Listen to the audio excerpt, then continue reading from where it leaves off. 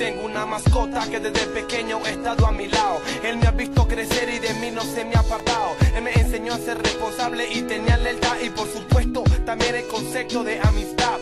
Se siente triste cuando yo no estoy.